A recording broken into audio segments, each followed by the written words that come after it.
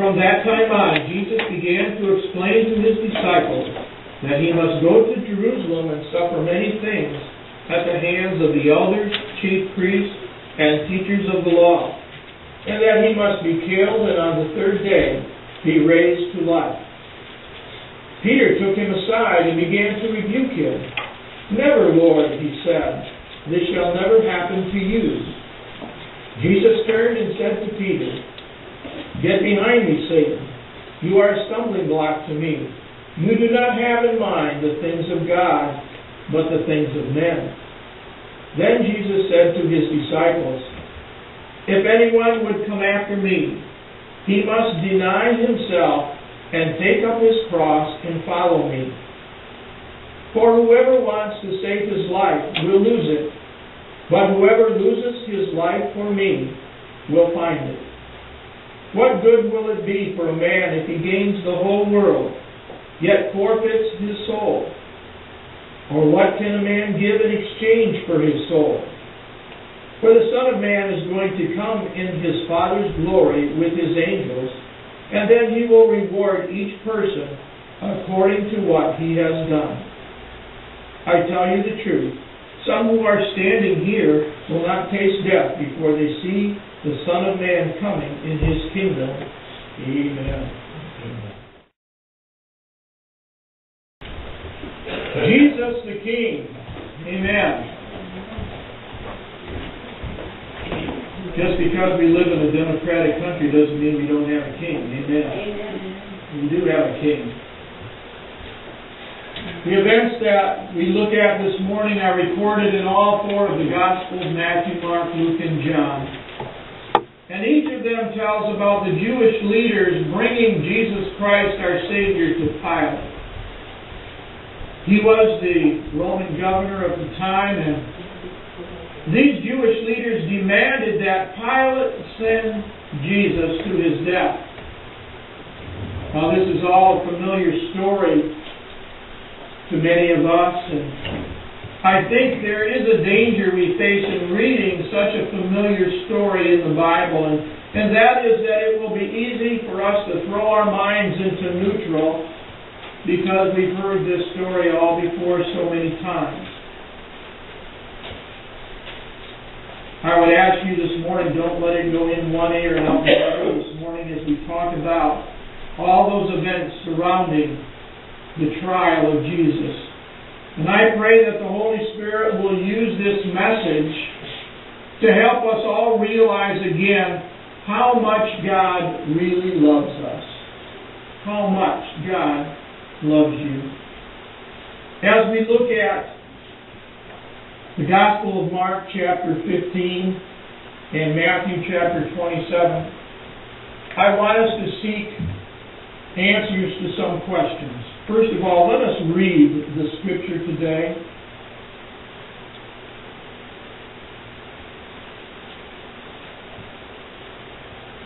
And as we look to the Gospel of Matthew, we'll begin reading at verse 1, chapter 15. Very early in the morning, the chief priests, with the elders, the teachers of the law, and the whole Sanhedrin, reached a decision. They bound Jesus, led him away, and handed him over to Pilate. Are you the king of the Jews? asked Pilate. Yes, it is as you said, Jesus replied. The chief priests accused him of many things. And so again Pilate asked him, Aren't you going to answer? See how many things they are accusing you of. But Jesus still made no reply, and Pilate was amazed. Now it was the custom at, the, at this feast to release a prisoner whom the people requested. A man called Barabbas was in prison with the insurrectionists who had committed murder in the uprising. The crowd came up and asked Pilate to do for them what he usually did.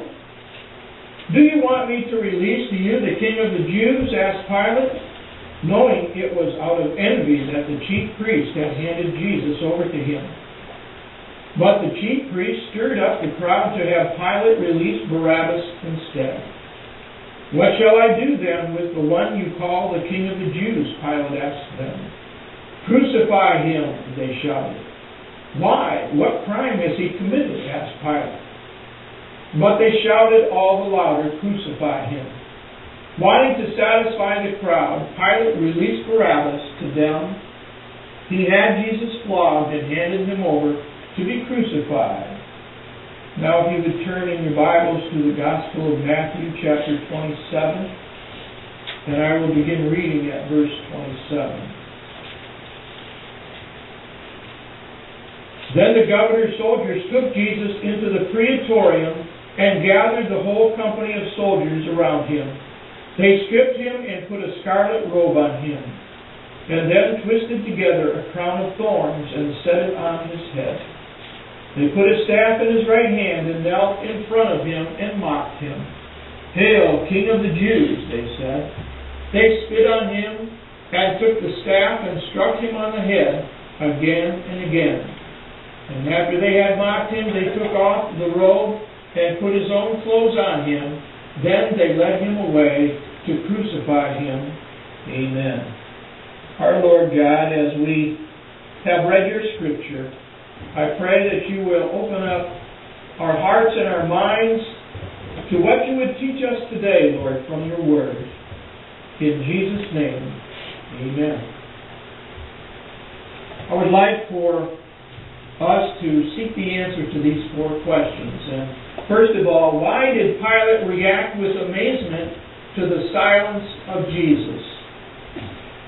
As you remember, Jesus was arrested late at night. And he was in the Garden of Gethsemane, and he had taken, been taken immediately to be interrogated before the high priest and the ruling council. But Jewish law said that any trial at night was illegal. But they did it anyway. And then they met again at dawn to make formal charges against Jesus because they had accused him of blasphemy, which was the slandering or showing contempt for God. And they knew that the charge of blasphemy wouldn't stand with the Romans. You see, the Romans believed in many gods, and the charge of blasphemy against a god would not be considered a crime in a Roman court. And so they had to come up with more significant charges. And they did. They came up with three more charges against Jesus just so they could bring him before the Romans. They said that Jesus was to be charged with subversion against Rome. They said that Jesus was to be charged with teaching that people shouldn't pay taxes to the Romans. And they came up with a charge that Jesus was conspiring against Rome, claiming to be Christ, claiming to be a king, and that the people should listen to him and not to Rome. Yes, the Jewish leaders came up with three false charges against Jesus. But it was this last accusation that caused Pilate to ask the question he said to Jesus, Are you the king of the Jews? And Jesus answers that question, but not in a strong voice, the kind of voice that we were used to reading him use as he addressed the Pharisees all throughout his ministries and all of their questioning to him. We knew that Jesus was always in control of the situation. But in this instance, you'll notice that Jesus is not answering in a strong, forceful manner. In control of the conversation as he often was. Why didn't he speak as no other person had ever spoke before? Why didn't Jesus raise his head? Why would he appear so downcast? Why couldn't he convince Pilate that he indeed was the king, not only of the Jews, but to all of mankind? Jesus remembers Gethsemane. That was on his mind. His conversation with his Father. not my will, but thine be done. Jesus knew what had to be done. Jesus didn't raise his voice to Pilate, he simply said, Yes, it is as you say. Then lowered his head again. It is as you say. Why did he answer that way? Why do you suppose? Such a short response to such a big question. And I think as we reflect on what the other gospel writers write about Jesus' answer here, we begin to realize that Jesus was trying to set Pilate at ease. Not being threatening to Pilate. I don't want your authority, Pilate. I don't want your job, Pilate. Pilate, I don't want your authority. I don't want your throne. I'm here as a sacrifice. I think Pilate understood as he had this private conversation with Jesus. Pilate understood that this man was not a threat to anybody. And he had decided, I think, at this point to set Jesus free. Frustrated, the chief priests became very aggressive in their accusations. They started throwing all kinds of insults and accusations out, heaping one charge on top of another that were all false. And Pilate, he says to Jesus, Aren't you going to answer these accusations against you? Jesus remained quiet. Jesus remembered Gethsemane and his conversation with the Father. And Pilate persists. And he says, Don't you hear the testimony they're bringing against you? Jesus made no reply. Not even to a single charge, and Pilate is amazed. He's amazed at this man standing before him. Why was he amazed? And I think Pilate was waiting for one word from Jesus. Just one word that would give Pilate an excuse and a basis for releasing Jesus.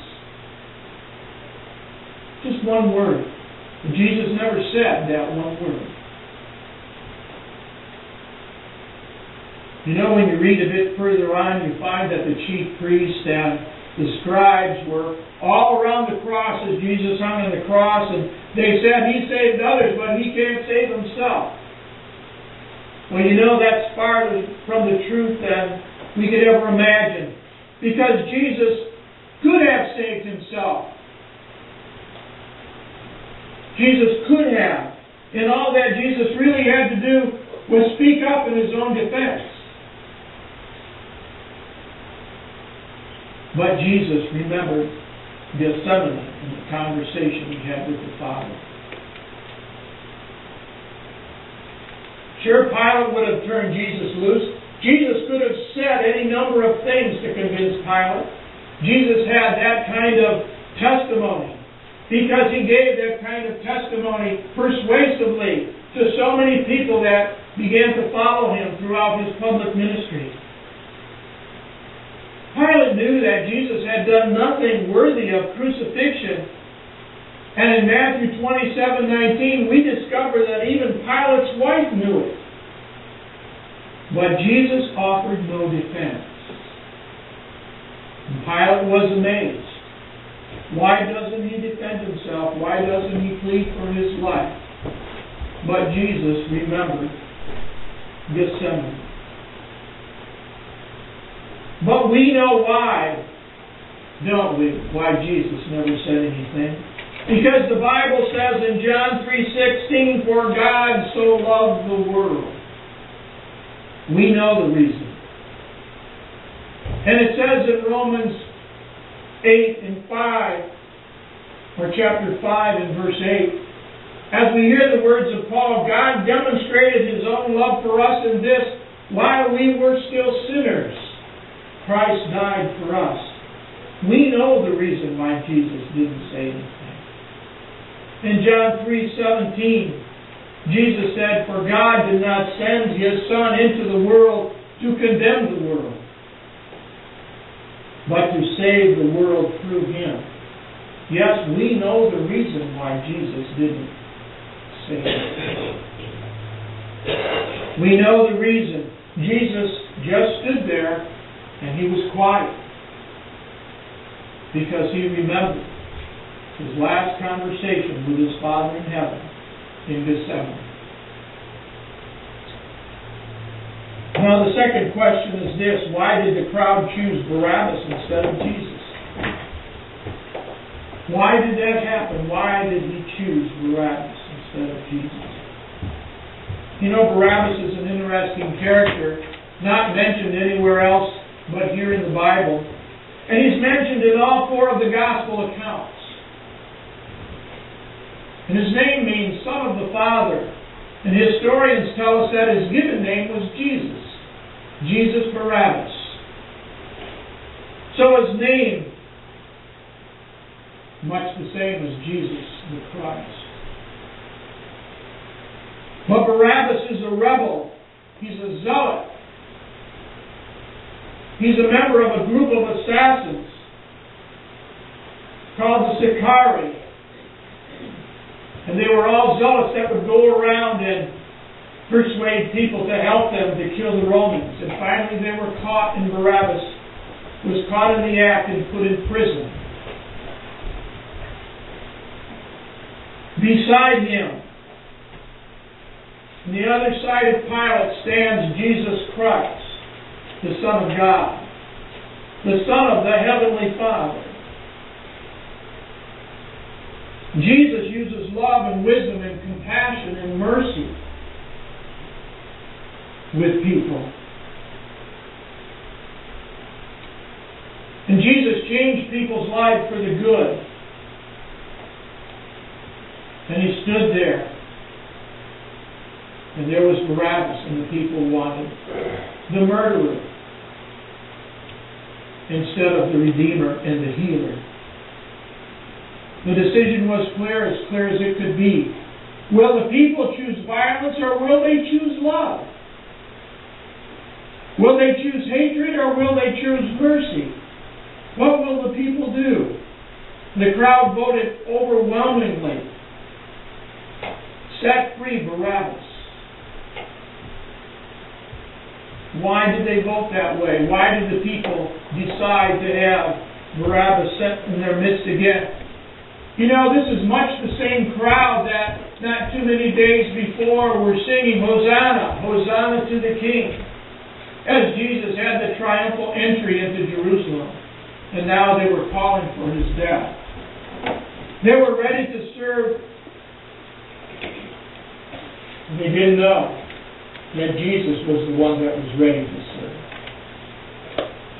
Jesus was ready. They thought that the Messiah would be a man of obvious power and strength. But Jesus made no defense before Pilate a person they thought not of strength but of weakness. They thought the Messiah would come in all of his glory riding on a horse and help them to take their country back from the Romans. Have you ever been disappointed in God? There have been times when God didn't do what I wanted Him to do. And there have been times when He didn't answer prayers the way I prayed for him to answer prayers. And there have been times when he didn't solve my problems just the way I thought he should solve my problems.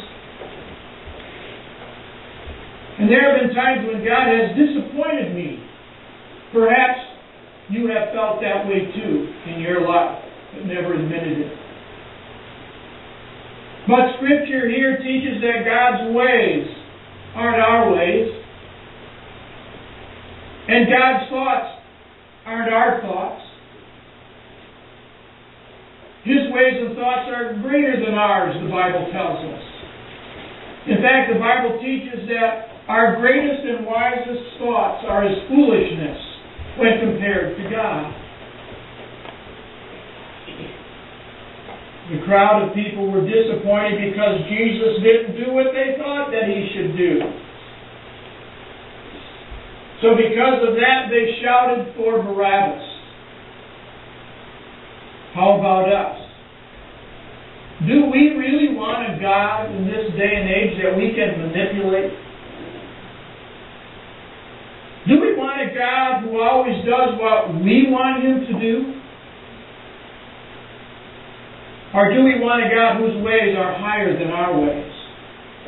A God that we can go to any time of the day or night and know He's going to be there. Who always does what is best for us, whether we realize it or not. What kind of God do you want? Why did Pilate have Jesus flogged before his crucifixion? After all this had taken place, Jesus is brought before Pilate. Once again, and Pilate sends him away for a flogging. He's stripped to the waist.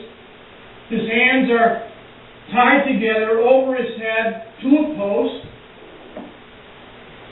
And the cat of nine tails, embedded with bits of jagged metal and bone, and bone, is used as a whip, and Jesus is whipped. Flogged, as they call it. Why would Pilate do that? Why?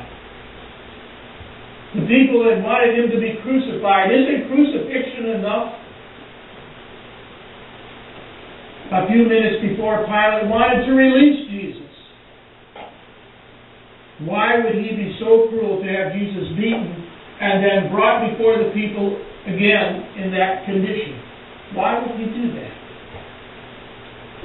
I think the answer is this that Pilate was hoping that when Jesus was brought before them, and they saw what condition that he was in.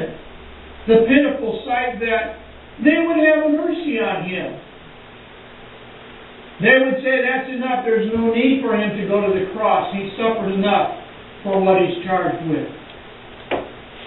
And Pilate was saying the Romans had nothing to charge him with. And I did this much for you to punish him for what you say he did. Pilate was expecting them to say, That's enough. So here stands Jesus. His clothing soaked with his own blood. And his head is bowed before them, and Pilate said, Behold the man.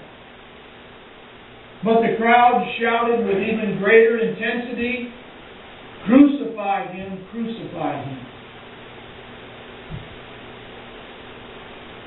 The crowd that once shouted Hosanna to the highest for Jesus as he came into their town. Satan has a hold of this crowd now, and the ugliness of the crowd comes out, and it's demonstrated as they cry all the louder, Scripture says, Crucify him. And the last question why did the soldiers treat Jesus with such obvious hatred and cruelty before they crucified him? How could people be so cruel to someone who has become so defenseless before them? Notice Matthew in his gospel said, They gathered the whole company of soldiers. The whole company of soldiers. There could have been as many as 600 in the garrison simply because of the fact that Pilate had come from Caesarea to Jerusalem to be there during the Passover feast. And while some of them were on duty, some were off duty. A large number of soldiers were gathered there. And they came where Jesus was and they began to mock him. Have you ever been mocked by somebody in front of other people? And they put a scarlet robe on his shoulders and a crown of thorns on his head. They put a staff in his hand. They knelt down in front of him. They spat at his face. They took the staff and then they struck him in the head with him over and over and over again while he had that crown of thorns in his scalp. Why did the Roman soldiers react so violently and so cruelly to someone who could not defend themselves. Why? They said, Hail, King of the Jews. You know, and I think they were taking out their frustration and their hatred of the Jews on Jesus. Many of them just wanted to be back on the coast in Caesarea or home in Italy. They didn't want to be in this hot, obtrusive country where the Jewish people who had a reputation for being rebellious over the years lived. They did not like the Jews. And Roman soldiers were being killed by the zealots. So they were taking it out on Jesus. He was in their hands, and they made him pay for everything that was done. Well, in conclusion, I want to draw your attention to something that Peter said. You know who Peter was? Peter was a disciple and apostle of Jesus Christ. Jesus chose him to follow him, and Peter agreed, okay, I'll follow you. And he followed him for over three years. In our scripture reading today, we know that Peter was so close to Jesus that he felt he could give him advice about anything. Peter was there for all of the miracles. Peter was there as Jesus rebuked his adversaries. Peter was there when Jesus was taken in the middle of the night in the Garden of Gethsemane. Peter was there on the Mount of Transfiguration. Peter was there when Jesus was on trial that evening in the house of Caiaphas, the high priest. Jesus was there. Jesus was there with Peter, watching him, watching him, learning from him. He heard everything that Jesus ever said in his public ministry. Peter heard it. So is Peter somebody that we can believe, I would ask you this morning? Is what Peter says something that we should pay attention to here in the 21st century?